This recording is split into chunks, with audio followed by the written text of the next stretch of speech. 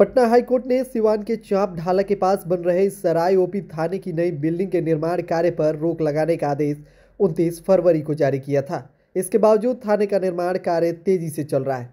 आदेश की कॉपी लेकर ज़मीन के मालिक, अधिकारियों के ऑफ़िस के चक्कर लगा रहे हैं। कोर्ट के आदेश के नौ दिन बीत जाने के बाद भी प्रशासन कोर्ट के आदेश की तामील नहीं कर रहा। दरअसल जिस ज़मीन पर थाने की बिल्डिंग बनाई जा रही है, उस ज़मीन पर 2011 से न्यायालय में केस चल रहा है। इसके बावजूद इस ज़मीन पर पुलिस विभाग द्वारा 2022 में थाने का निर्माण कार्य शुरू कर दिया गया, जिसके बाद ज़मीन के मालिक डिस्ट्रिक्ट कोर्ट पहुँचे, जहाँ कोर्ट ने 5 जनवरी 2023 को केस के निपटारे तक ज़मीन पर कोई भी निर्माण कार्य नहीं करने का आदेश जारी कर दिया।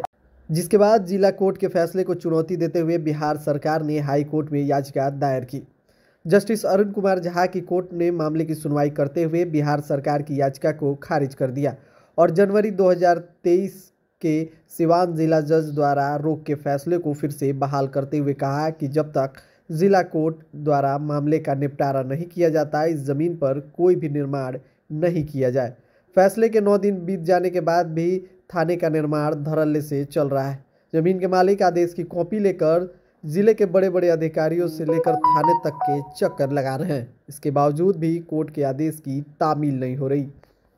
ज़मीन जो है, ये 2011 से जो है, केस चल रहा है और ये ज़मीन जो है हमारी माता जी के नाम से है और इस ज़मीन के लिए जो है, इस ज़मीन का हम लोग का दाखिल खारिज उन्नीस सौ तिरासी का बैना बैनामा है। उन्नीस सौ तिरासी से हम लोग का रसीद कट रहा है। रसीद कट रहा है। इस बीच जो है सीओ साहब के द्वारा जो है कागज़ को फाड़ कर ये दो थाना के द्वारा इस थाना को अलॉट कर दिया गया। इस, इस ज़मीन को 175 और 176 नंबर ये ये खे, खेसरा है। समझिए ना?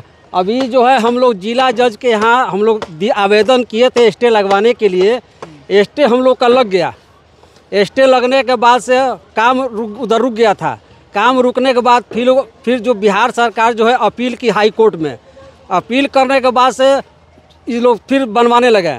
उसके बाद फिर जो है उसके बाद जो है ये लोग ये लोग अपील अपील किए। उसके बाद से वहाँ से भी जो है हाई कोर्ट ने जिला जज के जो जो डिसीज़न था स्टे लगवाने का उस उसको जो है हाई कोर्ट ने बरकरार रखा। यह आदेश जो है 29 29 फरवरी के दिन का है। 29 फरवरी 2024 को। और ये और ये अभी तक जो है आज आपका नौ तारीख हो गया नौ तीन हो गया नौ तीन 2024 हो गया लेकिन फिर भी जो अभी तक ये लोग काम कर रहे हैं और और इस, इसमें जो है कोर्ट का कोई इसमें वैल्यू नहीं है हाई कोर्ट का कि हाई कोर्ट के डिसीज़न के बाद भी ये लोग अपना काम रोकें। जब हाई कोर्ट का डिसीज़न आया तो आप लोगों ने सीओ और जिला प्रशासन हाँ हम लोगों ने हम लोगों ने सभी को लोगों को सूचित कर दिया।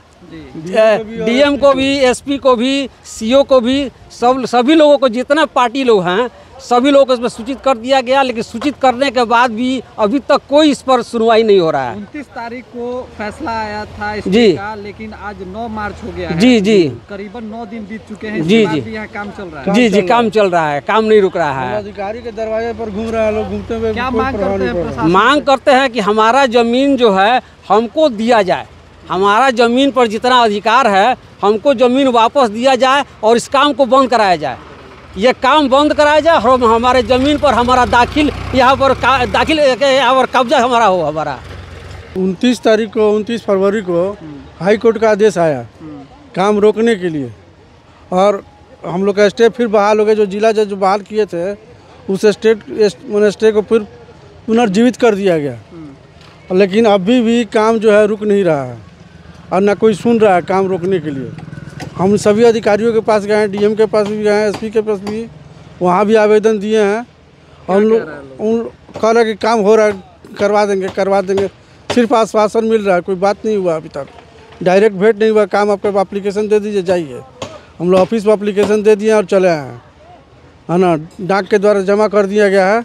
डायरेक्ट मिल नहीं पाए किसी से मिलना चाह रहे हैं मिल नहीं पा हाँ मिलना मिलना चाह रहे हैं लेकिन मिल नहीं पा रहे हैं वो लोग। और काम जो हमारा रुक नहीं रहा है कोई सुन ही नहीं रहा है। और इसको जल्द से जल्द जितना रुकवाया जाए, नहीं तो हमारी, हमारा बहुत बड़ा नुकसान हो रहा है इसमें।